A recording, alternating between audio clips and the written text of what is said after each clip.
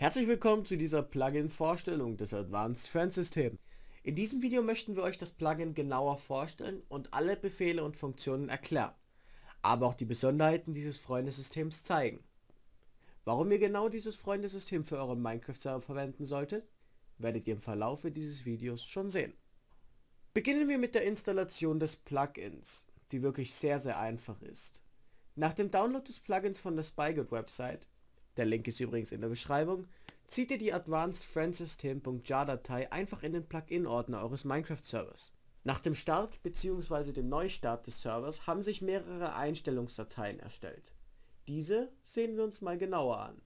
Beginnen wir mit der config.jml. Die Prefix des Plugins ist frei veränderbar und wird vor jeder Nachricht angezeigt, die mit dem Freundesystem zu tun hat. Ist die Option Show World in FL auf True gesetzt, so wird später im Freundemenü neben dem Spieler seine aktuelle Welt angezeigt. Dies ist vor allem für Server sinnvoll, die das Plugin Multiverse verwenden. Friend Item bestimmt, ob der Spieler beim Betreten des Servers ein Item zum Öffnen des Freundemenüs in GUI-Form bekommt. Und hier wären wir bereits bei der ersten Besonderheit des Plugins.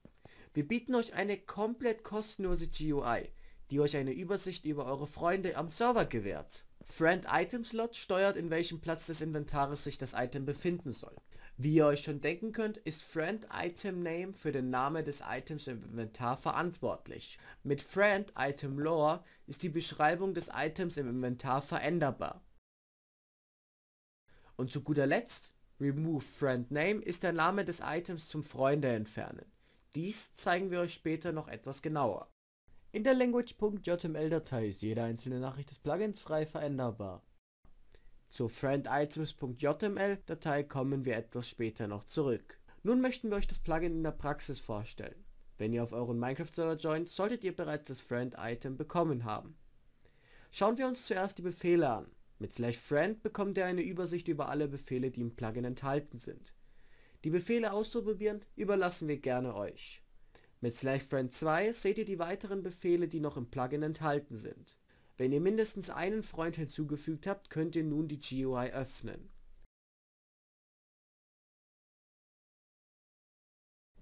Direkt werden euch alle eure Freunde am Server aufgelistet. Klickt ihr auf einen, öffnet sich ein weiteres Inventar.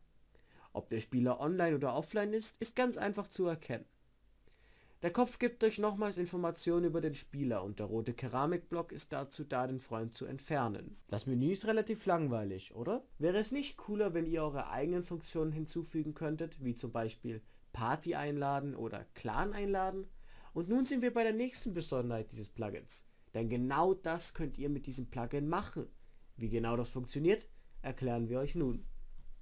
Öffnet dazu die vorhin erwähnte frienditems.jml Habt ihr das gemacht, findet ihr direkt ein voreingestelltes Item. Dieses ist allerdings deaktiviert, weswegen ihr es vorher nicht im Freundesmenü vorgefunden habt. Markiert nun alles und fügt es unterhalb ein.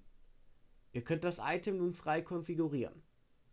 Ich werde nun zum Test ein Item erstellen, mit dem man dem Spieler OP geben kann.